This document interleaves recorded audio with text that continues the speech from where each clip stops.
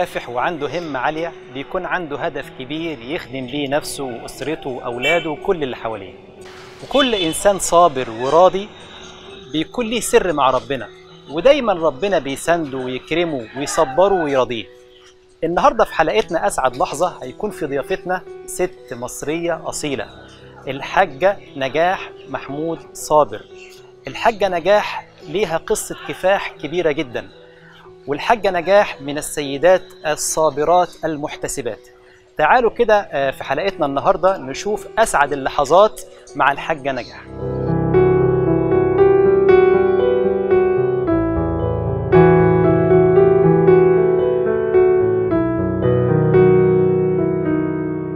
السلام عليكم. سلام ورحمة الله وبركاته. الله يسلمك يا رب. كنا بنسأل على بيت الحاجة نجاح. بيتها فين؟ جنبينا على طول حضراتكم جيرانها؟ جيران إن شاء الله. إيه طيب إيه اللي تعرفوه عن الحاجة نجاح؟ أكتر عارفين يعني. عنها كل حاجة هي ست مكافحة وغلبانه وشغالة في حضانة. و... آه وابنها كان تعبان والحمد لله ربنا شفاه وحضرتك. تعرفي عن الحاجة نجاح؟ برضه عارفة إنها ست كويسة جدا. أنتوا جيرانها من زمان ولا آه. من قريب؟ آه أنا بقالي بتاع حوالي 10 سنين. ما شاء الله. وحضرتك؟ أنا بقى لي 30 سنة معاها. طيب آه كان إحساسكم إيه لما سمعتوا إن الحاجة نجاح آه يعني اتكرمت كأم مثالية في محافظة الجيزة؟ فرحت طبعا فرحنا لها طبعا. بجد؟ آه والله. ان شاء الله. ربنا يكرمكم ويجازيكم يا خير رب يا شكراً، رب. شكراً. يا رب. العفو يا حبيبي.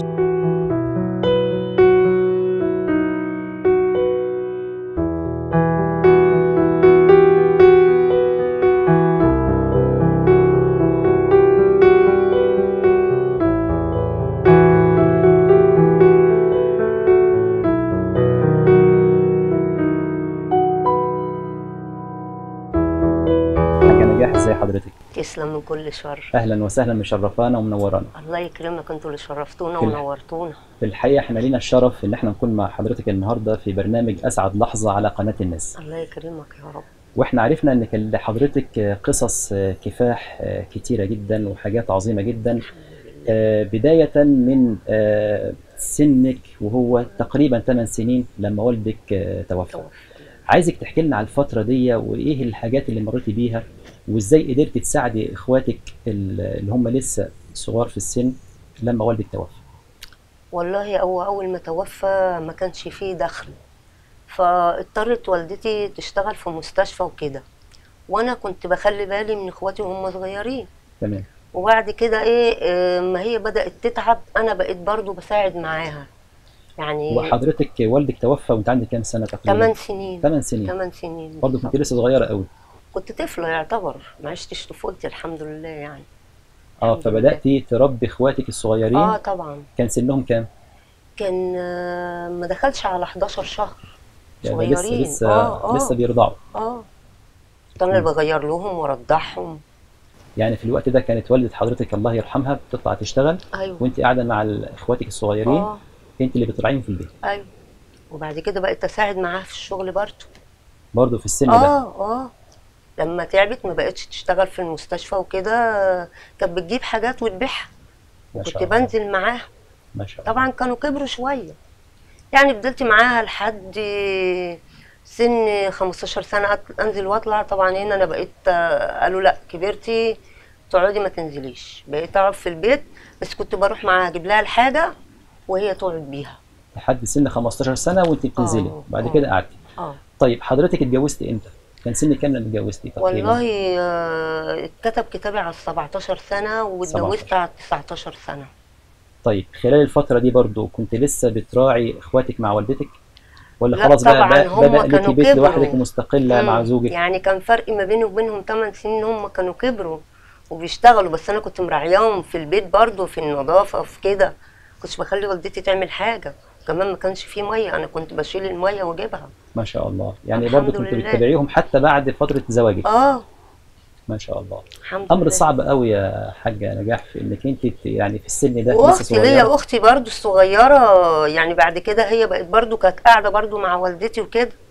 طيب آه، ما كنتش بتتضايقي مثلا تحسي إن الأمر كبير عليكي مش قادرة تستحملي فوق طاقتك؟ لا مش النقطة دي اللي كانت بتضايق الواحد آه، في حاجات تانية كانت بتضايق الواحد. واسلوب الناس النظرة إن أنت تحسي النظره نظرة العطف كانت بتضايق الواحد. طب في الفترة دي ما كنتش بتحس إن ربنا بيطبطب عليكي؟ أكيد الحمد لله. بيعينك بيساعدك؟ آه طبعا كان بيعيني وبيساعدني وكان مديني الصحة الحمد لله. الحمد لله ما شاء الله. لله، الحمد لله. طيب بعد ما اتجوزتي؟ أكيد مريتي بظروف صعبة مع زوجك. وإحنا عارفين. انك أنت مريتي برحلة كفاح عظيمة جدا جدا مع زوجك لله، الله الحمد يرحمه لله. احكي لنا بقى عن آه، لحظات الصعوبة اللي مريتي بيها مع زوجك وقدرتي تتغلبي عليها إزاي؟ والله هو كان راجل أرزاقي وكده كانت بتيجي الشتاء بتبقى هو كان بيشتغل مكواجي. تمام. الدنيا كانت بتبقى مريحة معاه. تمام. فكان غصب عنه في دروس في بيت في مدارس في. كده. هي دي أصعب فترة إن إحنا كنا بنحتاج مثلا فلوس الدروس فيها كده. طبعا عشان ما فيش دخل. كان هي دي في الفترة دي. كنت بتشتغلي ولا لأ؟ ولا لا أنا بدأت؟ شغلي في 2014 كان 2014 هو مرض قوي وما بيقدرش يتحرك. يعني طول فترة الزواج انت حضرتك آه، في البيت بتراعي الأولاد فقط. أيوه أيوه بس ربنا يخلي محمود ومحمد. الله الله. يبارك فيهم يا رب وإن شاء الله ربنا يسعدني فيهم.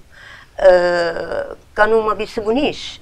بيشتغلوا الاثنين وكان آه، يعني محمود بيتعلم وبيشتغل. ما شاء الله. ومحمد كان كذلك الامر ما شاء الله. طبعا أسماء بنت ما ينفعش ما عندناش. تشتغلش قاعدة في البيت لا. لا لا لا. طيب إيه. أسعد اللحظات اللي مرت عليكي في حياتك مع زوجك الله يرحمه ومع أولادك بعد كده؟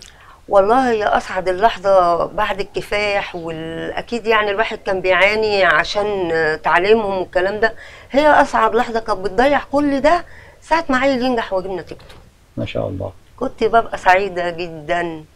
الحمد. لله كلهم ما شاء الله عليهم يعني. بفضل الله. انت ليك الفضل بعد ربنا عليهم يعني ربنا يجازيك خير ويعوض. صبرك خير ويأجرك خير في الدنيا والآخرة إن شاء الله. لله الحمد لله. طيب كلمينا بالتفصيل يا حاجة عن سعادتك بأولادك. حضرتك قلت إنك أنت كنت بتن... بتس... يعني بتبقي سعيدة قوي وأسعد اللحظات عندك لما يجيبوا النتيجة وينجحوا. آه عايزين تكلمينا بالتفصيل في الحتة دي. عشان نوصل رسالة للناس اللي هي بتراعي الأولاد خاصة لو أولاد مثلا أيتام وإزاي يكافحوا في تربية أولادهم وإزاي يساعدوا أولادهم وإزاي ياخدوا بإيد أولادهم لحد ما ربنا يكرمهم ويخلصوا تعليمهم إن شاء الله. والله يعني هي إيه سبحان الله كده بتبقى محبة من عند ربنا إن أنت بتحب أولادك ونفسك تشوفهم أح في أحسن حال. فأنا. كنت مراعية الحتة دي أنا ما كنتش متعلمة بس ما كنتش بحسسهم بيها. يا سلام. آه. يجي العيل ذاكر. أنا كنت بودي على فكرة وأجيب وأنا اللي اشيل لهم الشنط. ما شاء الله. لحد محمد ده ما راح أولى إعدادي كان يقول لي لا خلاص أنا بقيت راجل ما تودينيش ولا تجيبيني. ما شاء الله. فبفضل الله النقطة دي ذاكر وريني عملت إيه أتابع بروح المدرسة ودي أجيب أسأل المدرسين. يعني ما كنتش ساكتة يمكن تعملي عملية متابعة دورية آه مع الأولاد. يومين آه. الصبح والظهر. ما شاء الله. يعني أودي الصبح وأروح أجيب الظهر ولازم أشوف خد المجموعة خد الدرس الله. عمل إيه بيجاوب ولا لأ كده. طيب بعد كده بقى ده اللي خلاكي يعني تعيدي النظر وتبدأي تتعلمي وتاخدي شهادة؟ إحنا عرفنا إن حضرتك خدتي محو الأمية وبعد كده إعدادية وبعد كده خدتي دبلوم تجارة ما شاء الله. الحمد لله بفضل الله. أنا من صغري كان نفسي بحلم إن أنا حتى أشوف المدرسة. ما شاء الله. شكلها. فإخواتي كلهم دخلوا المدارس ما كملوش تعليم يعني. بس أنا. الوحيدة اللي ما دخلتش مدرسة. عشان انت اللي كنت بتراعيهم وهم صغيرين. نظرا لظروف. الفقر آه. كمان. تمام. بجانب الفقر. ما كانش. فيه. ما كانش فيه الدخل اللي يساعدك إنك آه. تروح المدرسة. آه. ما لا ما كنتش أقدر أروح لوحدي. أمي ودتني. تمام. فكان والدي على الله برضه ما ربنا ما رضش يعني. فجيت أنا لما علمت ولادي مم. وربنا أراد وطلعت اشتغلت المدرسة في شارع الوحدة. أنا نفسي أتعلم. سألت. رحت دخلت محو الأمية. ده كان إمتى يا حاجة بالظبط؟ بدأت إمتى؟ تتعلم 15 10 2015 ما شاء الله ما شاء الله. الحمد من لله. تسع سنين. أه. بدأتي رحلة كفاح تانية في تعليمك من تسع سنين. أه الحمد كان لله. تقريبا سنك كان كام ساعتها؟ تقريبا 50 51 ما شاء الله. ف... بدأتي تتعلمي بعد سن 50 سنة آه، عشان تحققي. حلمك القديم إنك أنت آه دي. أمنية دي أمنية. وبعدين العلم نور. أنا ما كانش بيهمني حد. يعني لما حد يجي يحبطني يقول لي بعد ما شاب ودوك كتاب هتعملي إيه بالشهادة؟ أقول لهم دي كانت بتديني دفعة لقدام على فكرة. ما شاء الله. مش بتحبطني بالعكس.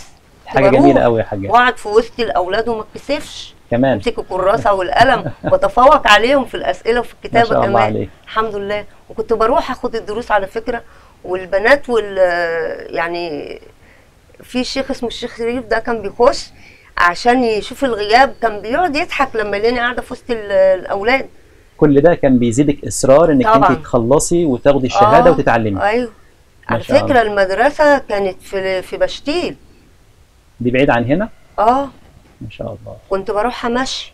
في أشوف السن بقى ده إن أنا أطلع من شغلي كنت باجي الأول من الحضانة الساعة 3 آه. وبعد 3 أجي هنا أعمل أكل. وزوجي كنت أشوفه مريض. وألبس وأجري. ده كده اليوم بتاعك كله رايح بره يا حاج. لحد قول 10 بالليل. أجي من بره 10 ما شاء الله. من المدرسة. كل ده كنت بتستشعري بسعادة ولا طبعا طبعا. ولا بقى وأنا قاعدة في الامتحان بقى. احكي لنا بقى. بتعملي إيه في الامتحان؟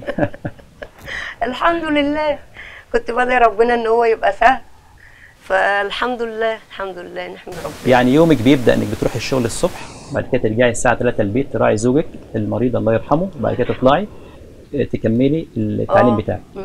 لما كنت في محو الأمية كنت بروح من الساعة ستة للساعة تمانية تسعة. وبعد كده لما قدمت في الإعدادية كنت بروح آه، إحساسك إيه لما خدتي أول شهادة؟ محو سعيدة الاميه جدا فرحانة ما مش الله. أقول لك إيه يعني. طيب مح- محدش كده كلمك وقال لك بقى كفاية كده عليكي وسنك كبر خلاص وبيتك أولى بيكي كله كان وصحتك. بيقول كان بيتلقى ما كانوش بقى بيقولوا بيتك وأولادك يا شيخة هتعملي إيه بالشهادة؟ كانوا بيتريقوا ويضحكوا. أقول لهم تريقوا أنا ما بيهمنيش كل الكلام ده. بعد محو الأمية خدتي الإعدادية. طيب. سنين ما بعد ما خلصتي الإعدادية كان إحساسك إيه وليه ما اكتفيتيش بالإعدادية واصريتي تكملي برضه وتاخدي كنت الدبلوم؟ ناوية أخش جامعة. كمان؟ آه والله. ما شاء الله. بس لولا عينيا وصحتي عندي مرض روماتويد اللي هو مرض مناعة ده مبهدل العظم فما بقدرش أمشي. دي الحمد لله قلت كده نعمة وفضل من عند ربنا. ربنا ما. حرمنيش الحمد لله.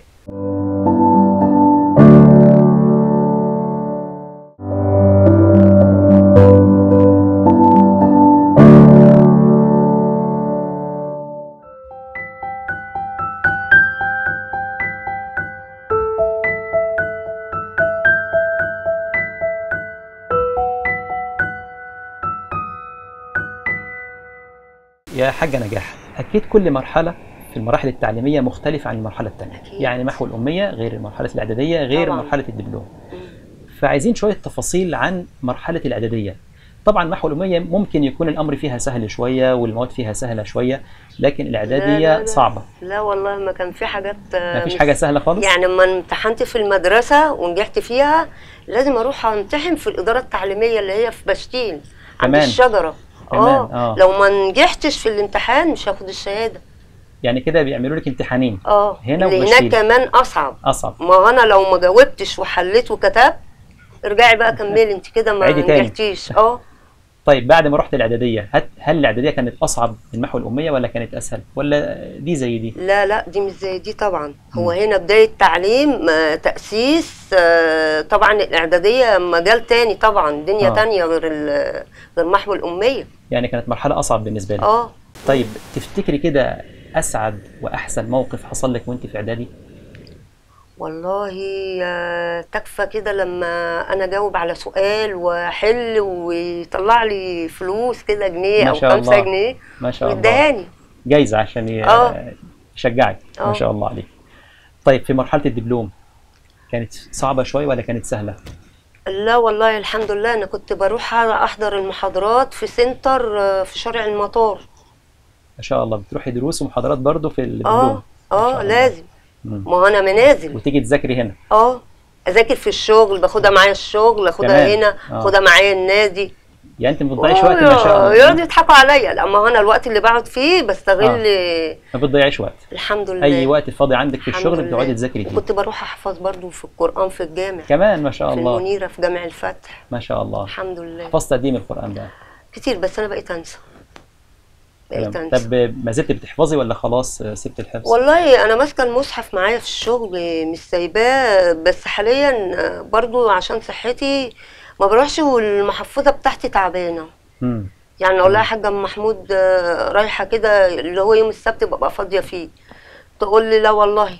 عشان بتروح تجيب علاج وكده وبتعمل بس يعني على. الأقل يعني ليكي ورد ثابت بتقريه كل يوم آه، تقري في المصحف. بتمسكي المصحف على طول. آه آه. شيء طيب والله يا حاجة الحمد يعني لله ما شاء الله الحمد عليك. لله الحمد لله. طيب آه، أسأل حضرتك عن فترة مرض زوجك الله يرحمه. آه، أكيد دي كانت فترة صعبة عليكي في. ظل الظروف اللي أنت فيها وفي ظل آه، دراستك وتعليمك والأولاد وزوجك المريض اللي بتراعيه. إيه أصعب اللحظات اللي مرت عليكي في الفترة دي؟ وإزاي قدرتي تتغلبي على الصعوبات دي؟ والله أصعب لحظات إن هو كان بيبقى في البيت وأنا بنزل وببقى خايفة يجرى له حاجة عشان ما كانش في الأيام الأخيرة بيقدر ينزل. وأصعب وقت مر عليا أنا وعيالي وهو في المستشفى. قعد عشر أيام واقفين على رجلينا ليل ونهار. وصعب قوي قوي لما تلاقي أعز إنسان قدامك. مم. ربنا يرحمه. ربنا يرحمه.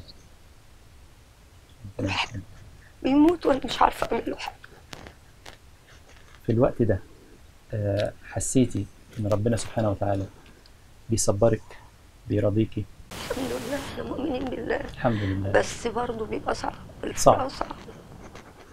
صعب. معلش إن الله إذا أحب عبدا ابتلاه فمن رضي فله الرضا. فربنا يرضيكي ويكرمك آه، ويجعل كل ده في ميزان حسناتك إن شاء الله. الحمد لله لما بشوف عيالي واسعة إن شاء كده. الله. بحمد ربنا أقول يا رب يكفيهم شر المرض يا رب. الحمد لله الحمد الحمد لله. لله.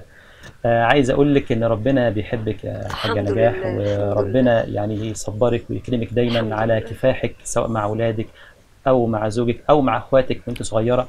فتأكدي إن ربنا مش هيضيع كل ده. ربنا يرحم زوجك يا حاجة نجاح ويحسن إليه ويكرمه وإن شاء الله يجعل المرض اللي كان فيه كفارة لذنوبه إن شاء الله. ويعوضكم بالخير الحمد ويأجركم لله. على صبركم وكفاحكم ورضاكم عن الله سبحانه. وتعالى. آه، طبعا الموضوع ده كان فيه آه،. محنة شديدة وصعوبات كبيرة عليك وأكيد على الحمد الأولاد لله الحمد لله آه، لكن أكيد ربنا سبحانه وتعالى آه، أعطاك منح بعديها كتير الحمد وربنا لله. يعوضك وربنا أكرمك ومن جملة تعويض ربنا آه، ليكي إن الحمد لله إحنا كلنا عارفين إن تم تكريمك آه، الحمد لله. كأم مثالية في محافظة الجيزة احكي لنا عن إحساسك وشعورك لما تم تكريمك واختيارك كأم مثالية في في المحافظة وعن شعورك لما آه، شفتي وقابلتي فخامة الرئيس عبد الفتاح السيسي. أيوة الضحكة رجعت أهي الحمد لله. كنا في أسعد حال طبعا. ما شاء الله. الحمد لله. الحمد لله أنا كنت عاملة طبعا عملية و يا سلام. آه كنت واقعة على إيدي يعني الحمد سلامة. لله ساعة آه، ما جاني ال- الموضوع دوت آه، كنت عاملة عملية وبفضل الله أنا طلعت عمرة في رمضان الحمد لله. الحمد لله. أنا وبنتي. ما شاء الله. فسبحان الله يعني أنا عملت عملية وطلعت عمرة وبعد ما جيت آه، جه موضوع ال- الأم المثالية ده وكده.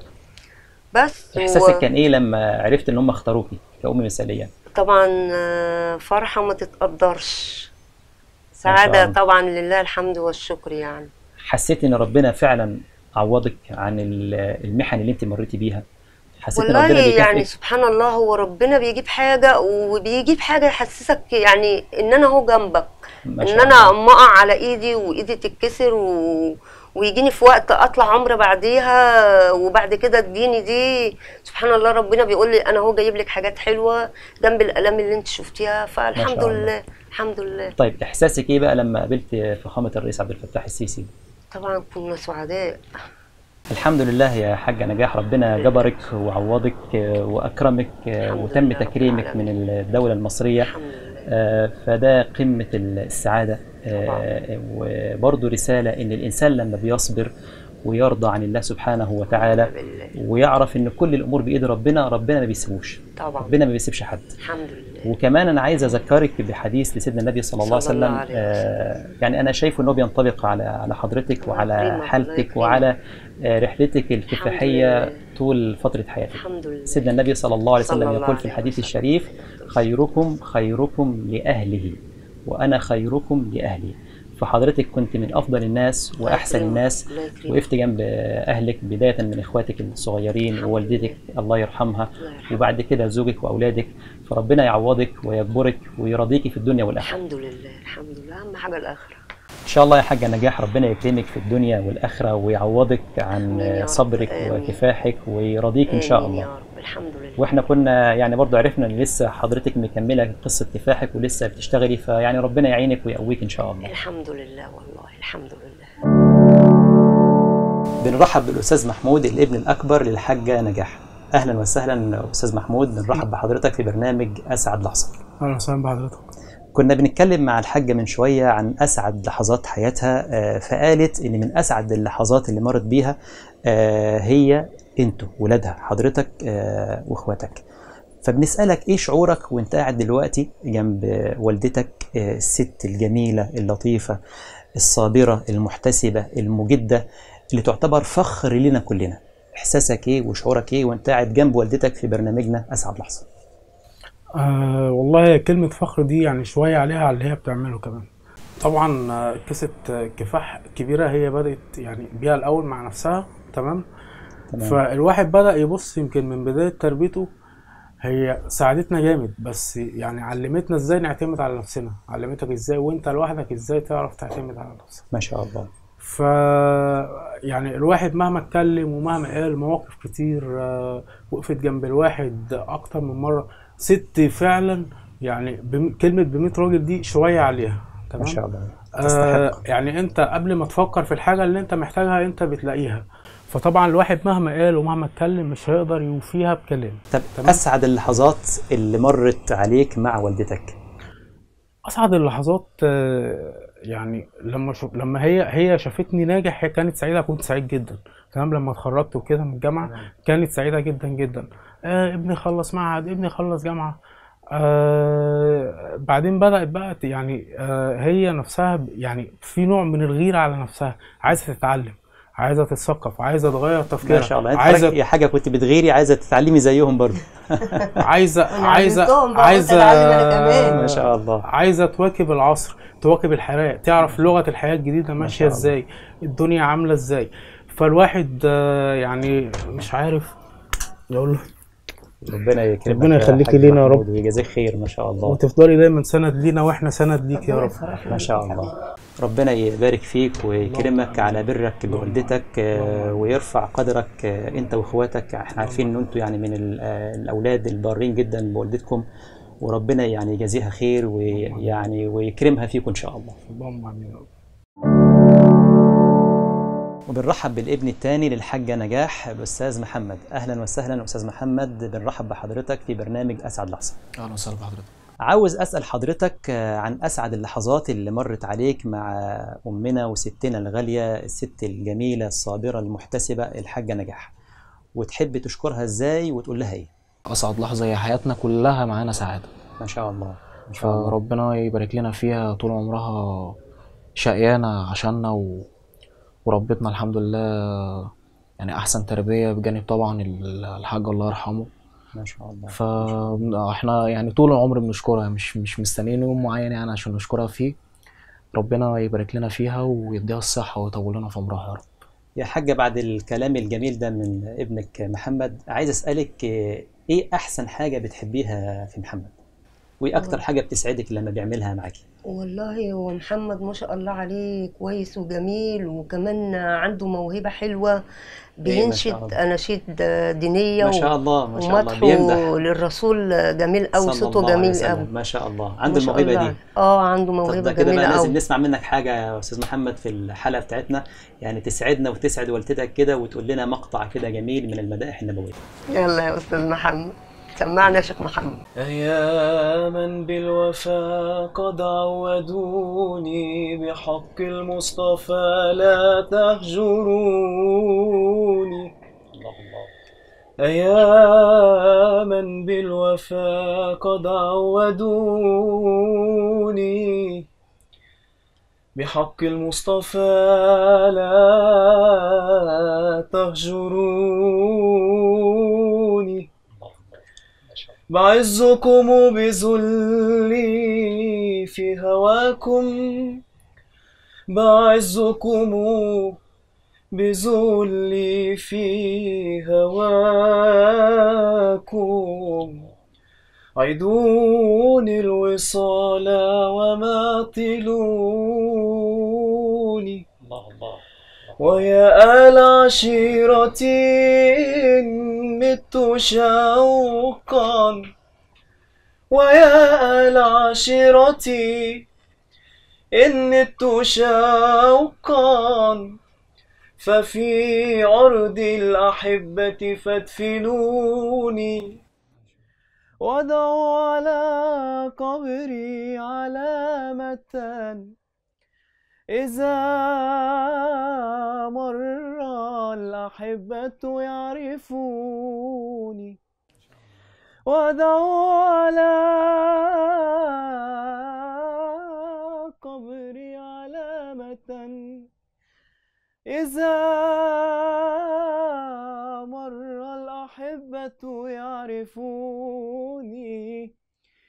إذا مر الأحبة يعرفوني إذا مر الأحبة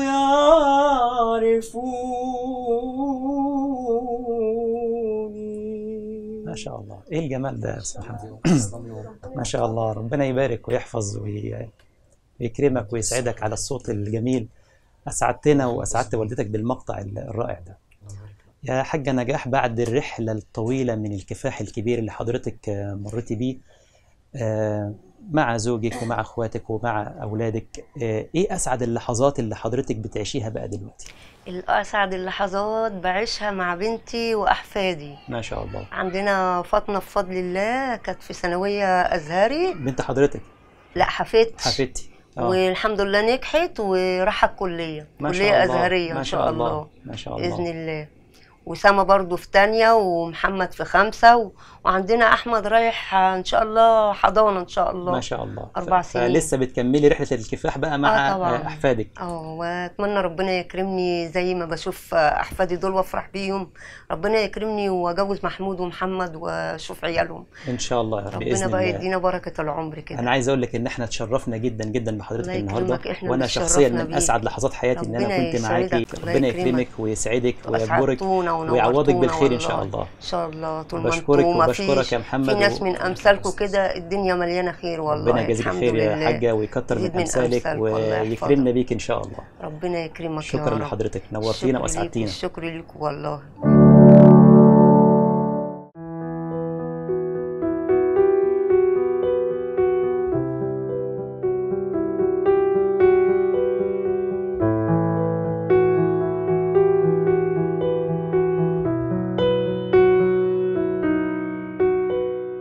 أسعد لحظة النهارده ما كانتش لحظة واحدة إنما كانت لحظات كتيرة جدا عشناها مع الحاجة نجاح. الحاجة نجاح المرأة الصابرة المجدة المكافحة. مرت بلحظات سعادة كتيرة جدا عشناها معاها واستفدنا منها إفادة كبيرة وعظيمة جدا. الحاجة نجاح صبرت وكافحت لحد ما ربنا أكرمها واتعلمت ودخلت نحو الأمية وبعد كده الإعدادية وبعد كده خدت آه، دبلوم. وده بيدينا دفعة آه، ومثال عظيم جدا إن الإنسان لازم يكون حريص على العلم. العلم من المهد إلى اللحد. مهما كانت الظروف صعبة ومهما كانت التحديات كبيرة لازم تعافر وتكافح وتحاول بكل طاقتك إنك أنت توصل لهدفك وحلمك مع يقينك في ربنا وحسن ظنك في الله وتوكلك عليه. الحاجة نجاح ربنا أكرمها وربنا يعني آه، دايما كان واقف معاها زي ما قالت لنا النهاردة وربنا في النهاية أكرمها بأن هي اتكرمت كأم مثالية في محافظة الجيزة من فخامة الرئيس عبد الفتاح السيسي ربنا يحفظه. الحاجة نجاح مثال للمرأة المصرية الأصيلة اللي هي بتكافح عشان خاطر نفسها وعشان خاطر ولادها وعشان خاطر أسرتها. في الحقيقة كانت من أسعد اللحظات النهاردة إن إحنا عشنا التجربة دي مع الست المصرية الأصيلة دي وهي الحاجة نجاح بنقول لها شكرا ليكي يا حاجة وربنا يبارك فيكي ويسعدك دايما.